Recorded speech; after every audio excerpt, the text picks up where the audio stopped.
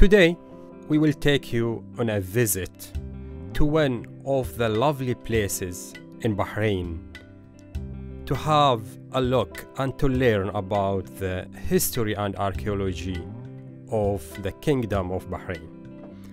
This place is Qalat al Bahrain Site Museum. It was opened in 2008, three years after the inscription of the site on the World Heritage List in 2005. The official name of the site is Qalat al Bahrain, ancient harbor and capital of Dilmun.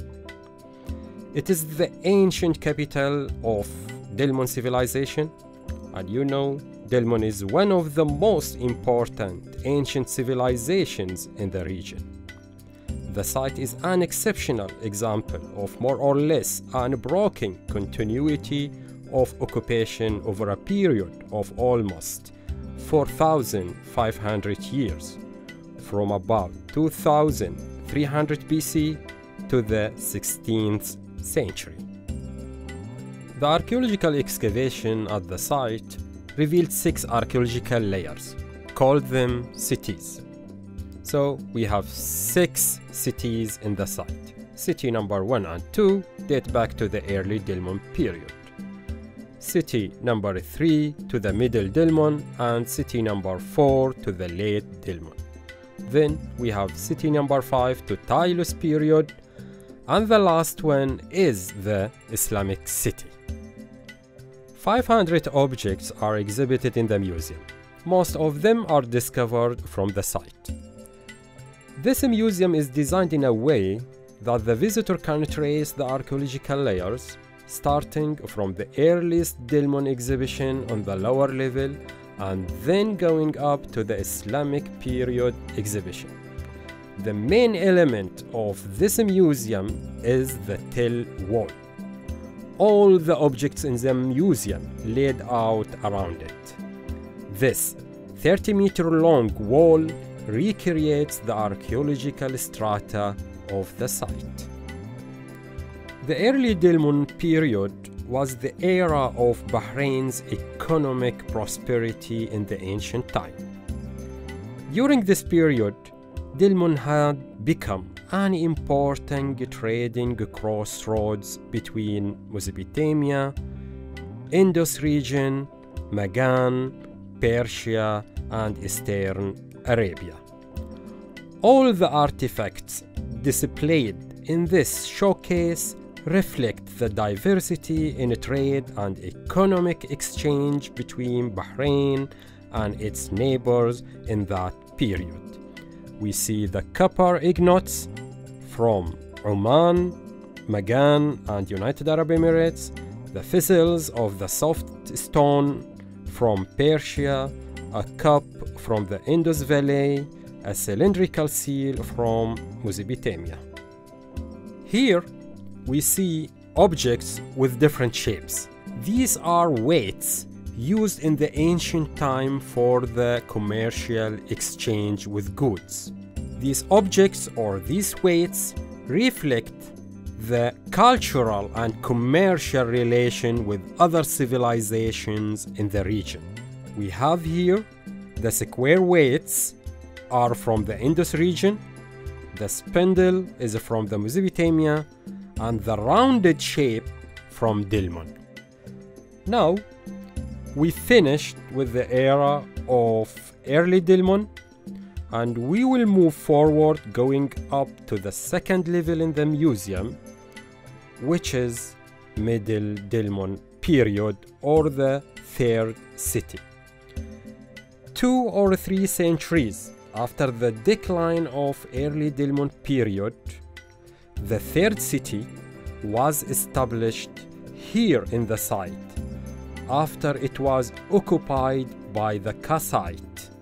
Kassite dynasty took control of Babylonia and Mesopotamia and they controlled the island of Bahrain and they reconstructed the city over the ruins of the second city of early Dilmun. The oldest madbasa in Bahrain was found among the remains of this city. It's about 3,500 years. The Madbasa is the place that the people store the dates and they produce the syrup from these dates.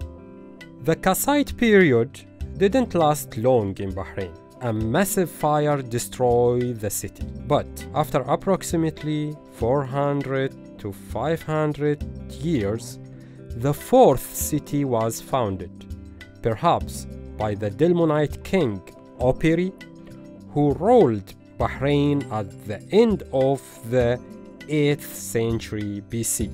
We know of him by the official inscription of the great Neo-Assyrian king Sargon II, who in his Mesopotamian palace often mentioned the gifts he received from this very diplomatic ruler of Dilmun. In one of the halls of the King Opiri Palace here in Qalat al Bahrain, approximately 200 terracotta figurines were found. Perhaps it was used for purposes related to ritual worship. It dates from the period 10th to 7th century BC. At the end of the late Dilmun period, we observe that at Qalat al Bahrain, the dead and the living were close neighbors.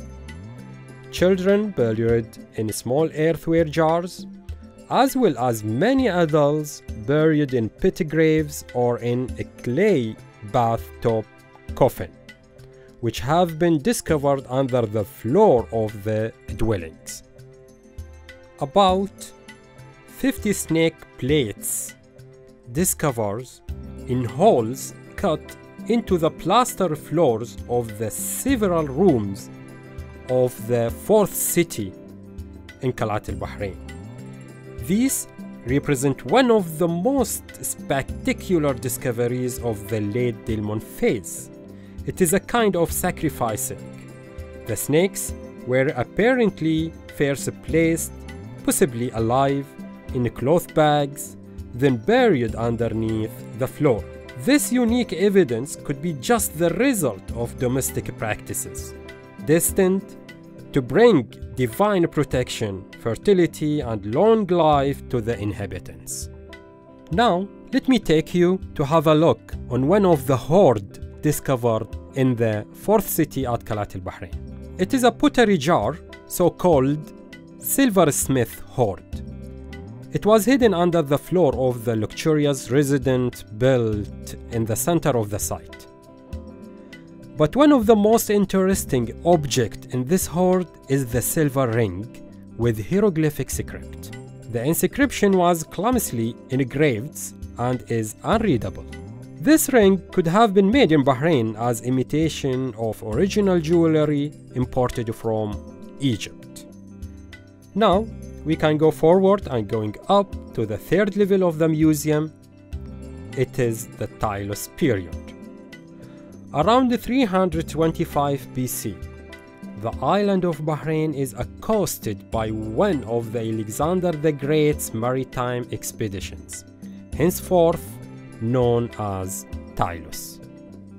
Let me take you now to have a look on the second treasure found in Qalat al-Bahrain but this time it was found in the fifth city which is dated back to the Tylos period. Actually, it is one of the most significant discoveries of the Tylos phase in Bahrain. A jar contains approximately 310 silver coins. These are imitation of the official coinage of the Alexander the Great which are used in the Seleucid Empire. These were might be minted during the 2nd century BC by a regional workshop here in this area. This coin hoard found by the Danish expedition archaeological team in 1970 and all of these coins represent on the front the Alexander portrayed as Heracles and on the reverse a seated figure represents Shams or Shamash, who was the principal divinity worshipped then in Eastern Arabia. In the 7th century AD, most of people in Bahrain converted to Islam. The main town of Bahrain was then in the center of the island, around the mosque of Souk al Khamis, in a place known today as Bilad al Kadim. But in the 13th century, the old Tylos fortress, which is overlooking the sea at the Qalat al Bahrain site, which was built in 3rd century AD and abandoned around 5th century was reconverted into a commercial warehouse by the Salghurid Atabegs of Faris. Et Madbasa at the fort then permitted 15,000 kg of date honey to be produced and exported to China yearly. On the return trip, the ships brought back spices, but more importantly, pottery from China and is India, as well as Chinese currency. At the end of the 13th century, a new village have developed rapidly over the large portion of the site. A souk, a big hammam, a mosque, a cemetery have been uncovered by the successive teams of archaeologists. But in the course of the 15th century AD, a new fortress was erected on the site and its successive enlargements completely covered or destroyed this village. I'm talking about the Hormuzi Portuguese fort, which we call it Bahrain Fort. Now, this holds the last level of the museum, exhibit objects discovered from the site. Its cover up period extended from the 13th to the 16th century AD.